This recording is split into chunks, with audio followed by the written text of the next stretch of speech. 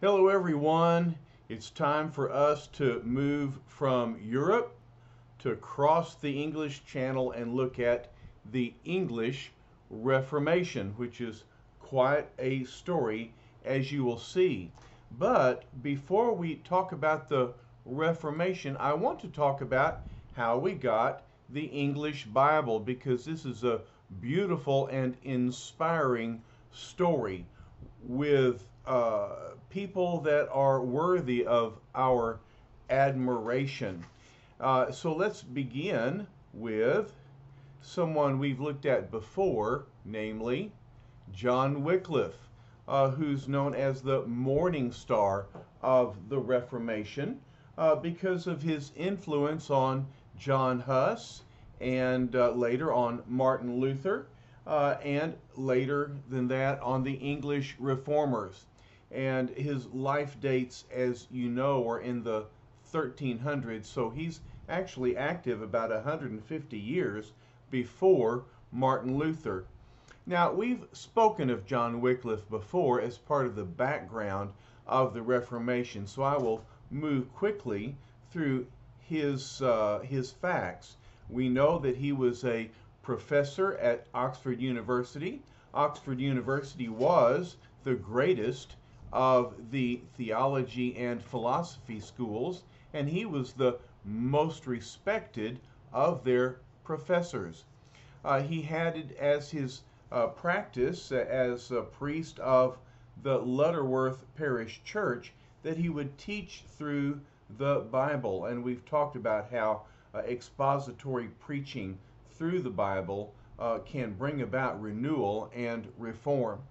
Now, he taught that Scripture is the ultimate authority, not the traditions of the church. And so, uh, in this uh, way, uh, he went against the papacy and their claims that only the church uh, and only the pope can uh, can interpret Scripture and uh, and, and teach ecclesiastical doctrine and practice. He also taught that the state had the authority to reform the church, but remember that during his lifetime, uh, the papacy was undergoing its one of its lowest ebbs, the Avignon papacy, when the Pope was under the control of the French king uh, and headquarters located in Avignon, France. Remember also that England was at war with France during the Hundred Years' War at this time. And even after the Avignon papacy ended and uh, Pope Gregory XI moved uh, his headquarters back to Rome, shortly after that we have the Great Papal Schism, where uh, Clement VII moved his uh, anti-pope uh, regime back to Avignon, while Urban the Sixth maintained his headquarters in Rome. So we have a corrupt uh, papacy, we have a broken papacy, and so it was it seemed natural to Wycliffe and others that the state should intervene in the local church. And this brought about a great popularity for Wycliffe among the nobility and royalty of England. Now, he went one more step and denied the doctrine of transubstantiation.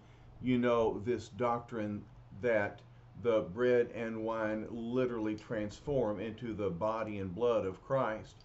Uh, when he denied this doctrine, which after all was not in Scripture and again had become uh, Catholic dogma only in the previous century, uh, Wycliffe lost the support of the nobility and so he was uh, vulnerable to trial. He was put on trial for heresy. Fortunately, uh, the Queen supported him and uh, would not allow his execution, but nonetheless, he was removed from his post at Oxford, losing access to the library, uh, losing his ministry of teaching. he was placed under house arrest, and the only ministry open to him was the priesthood at Lutterworth. But it was during this time that Wycliffe uh, came upon the work that uh, has made him most memorable, and that is uh, his decision to translate the Bible into English. Now, he chose to translate the Bible from the Latin Vulgate into the language of his people. And do you recognize the flaw in that approach? Well, yes.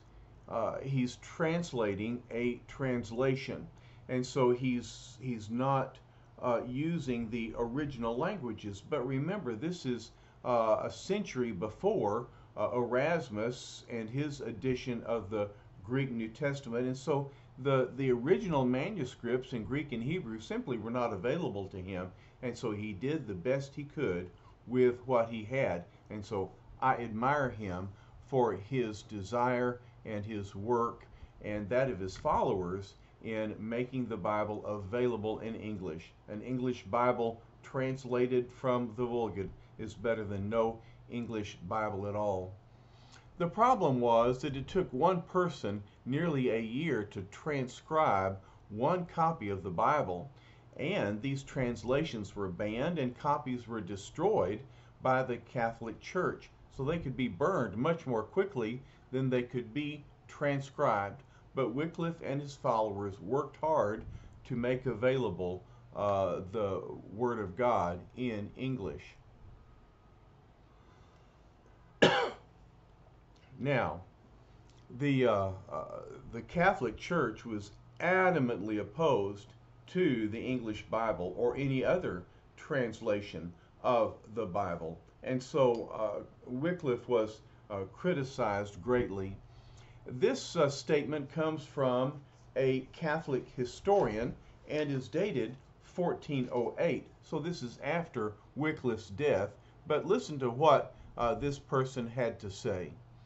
Christ gave his gospel to the clergy and the learned doctors of the church so that they might give it to the laity and to weaker persons.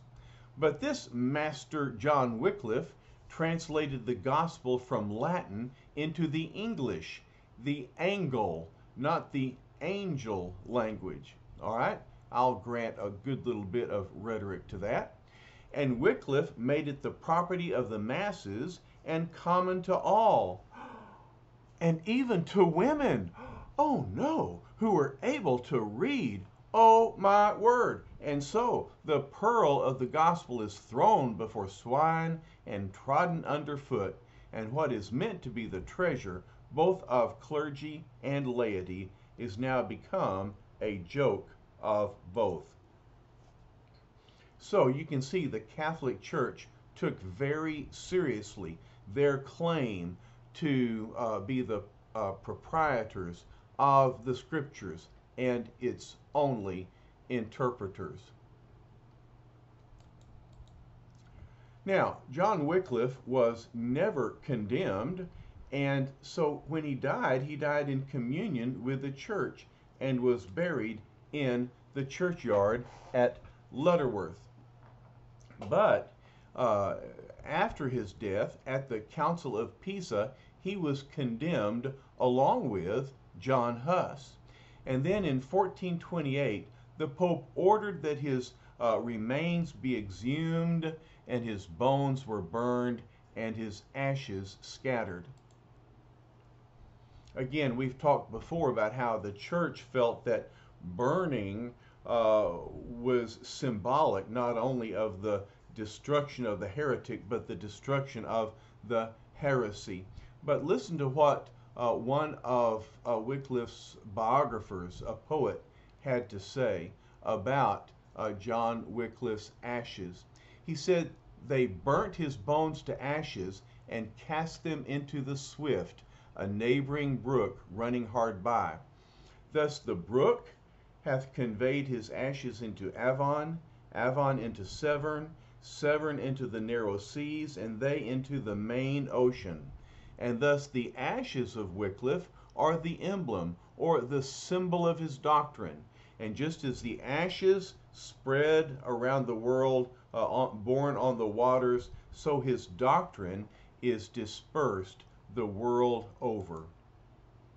And so, poetically, through this metaphor, uh, this poet biographer has affirmed that Wycliffe's teachings went around the world. And we know that uh, he influenced John Huss. We've already talked about his influence on uh, the English Reformation. Uh, and after Wycliffe, the next major translator of the English Bible was William Tyndale, known as God's outlaw. And even though he was considered an outlaw in his day, uh, I have uh, seen this statue in London, which acknowledges uh, his uh, his redemption in the eyes of England and uh, his honor given to him today. Denied to him in his lifetime. Now, William Tyndale, you see his life dates there, so he was born more than a hundred years after Wycliffe's death. But he was educated at Cambridge. Cambridge was kind of a hotbed of uh, Reformation and spiritual revolution. And uh, after his graduation, he did not accept uh, a, a position as a priest, but became a private tutor. Uh, he was shocked by the clergy's ignorance of Scripture because back then, even many of the priests were unable to read Latin and therefore they could not know what they were teaching and preaching. They simply were uh, repeating by rote Latin words that they had learned. One night at dinner, uh, the family where he was uh, tutoring the children uh, hosted a priest.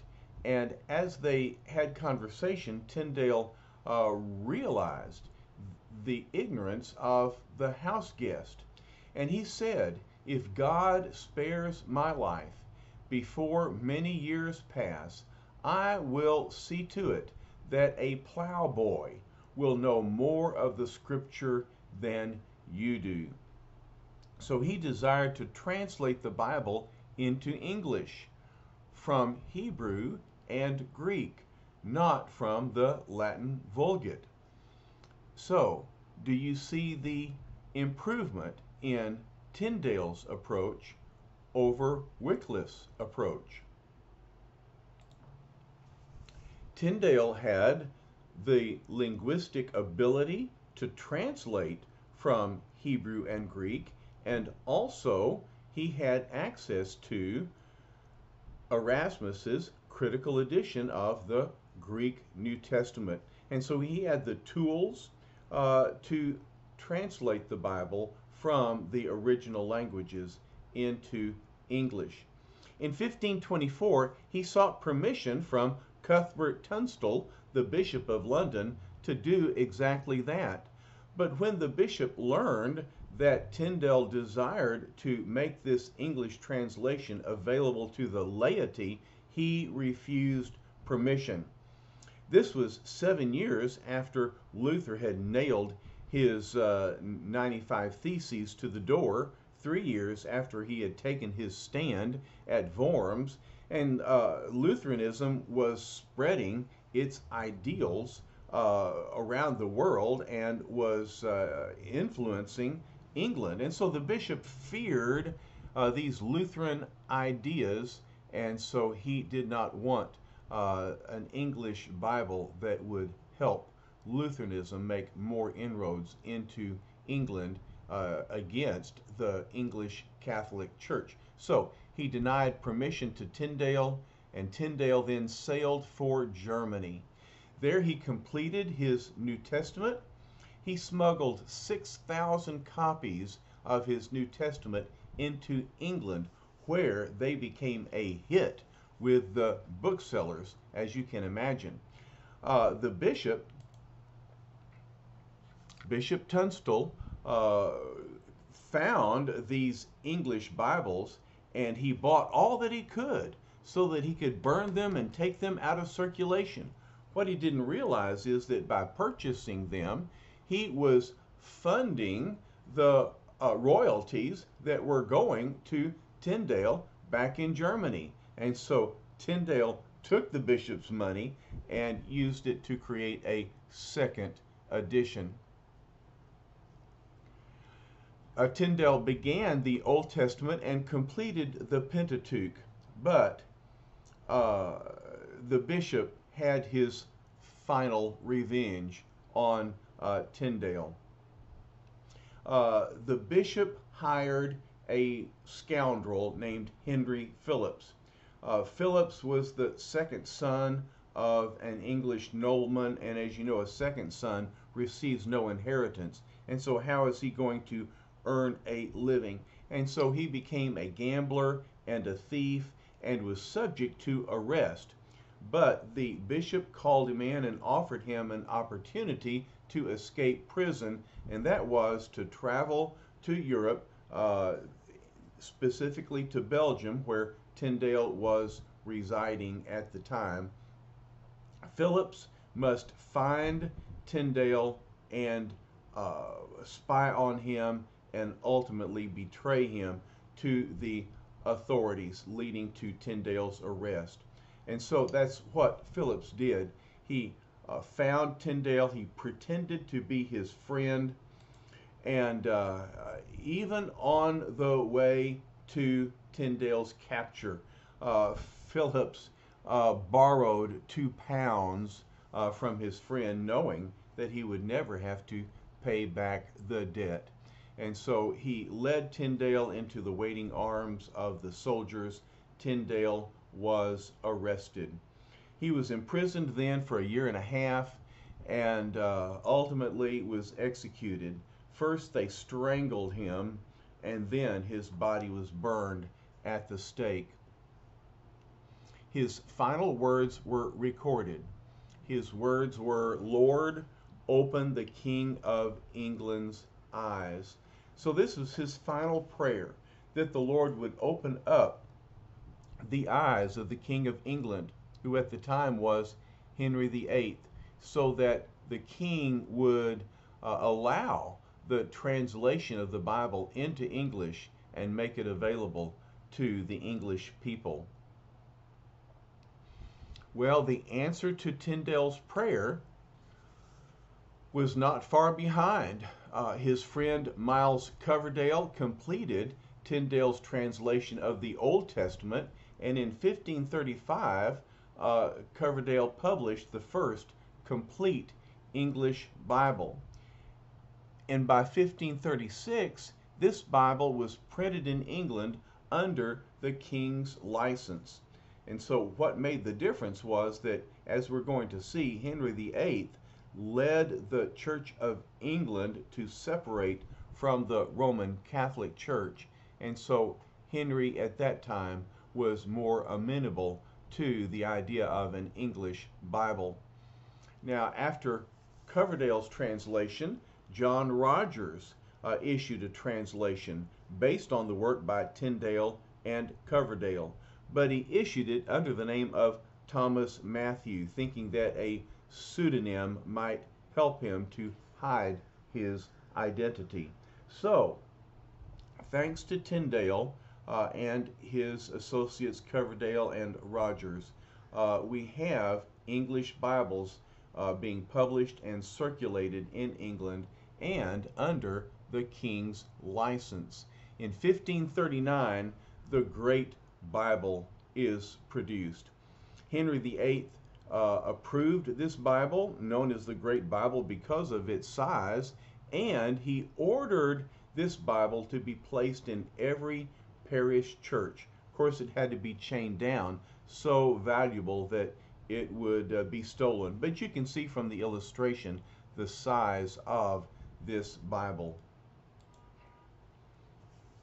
So we admire William Tyndale for his talent and for his hard work in producing an English New Testament and Pentateuch.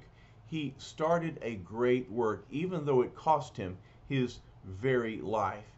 And his associates continued the work, and then the Lord answered his prayer. And so now we have an English Bible, and it's going to have a tremendous impact on the way the church goes forward in England. Now, there were other English translations that followed close after.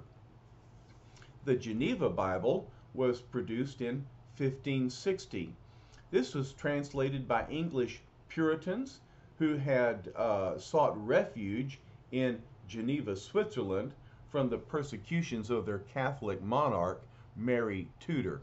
We'll talk more about uh, Mary and her persecution later.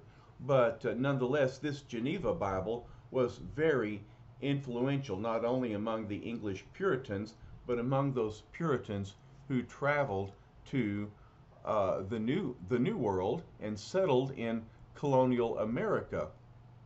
Geneva Bible was the most popular Bible among the Pilgrims and Puritans of the Massachusetts Bay Colony. The Bishop's Bible was the official church, I mean, I'm sorry, the official Bible of the Church of England. It was the successor to the Great Bible.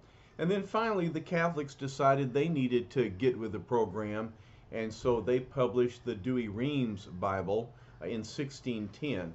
It was translated from the Latin Vulgate because they didn't want to get too far away from uh, the official uh, Catholic Bible. Well, let me conclude by just uh, uh, reminding us of the theological contributions of the English Bible. Uh, this laid the groundwork for the English Reformation. It began to inspire reformers in England. Uh, it certainly laid the foundation for the Church of England. And then the Puritan and separatist movements uh, took their uh, guidance from the Bible, and so did the English Baptists. We're going to find that having the Word of God available uh, to read and to study led to the uh, the discovery of believers' baptism by immersion, which fueled the origin of the English Baptists, who uh, obviously are our spiritual forebears. So uh, it has been, I, I, think, a good uh, and worthy endeavor for us to study the origin of the English Bible, how we got the English Bible, because as we move forward now to talk about the English Reformation, we'll see the necessary foundation of the Word of God for the advancement of the Reformation in England, and that will be the subject of our next lecture together. All right, so thanks for your attention. I'll see you again very soon.